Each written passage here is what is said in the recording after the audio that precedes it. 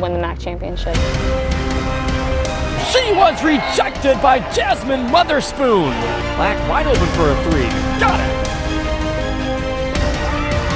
We can compete with anybody in the MAC. Ryan Byard a three from the corner. Yes.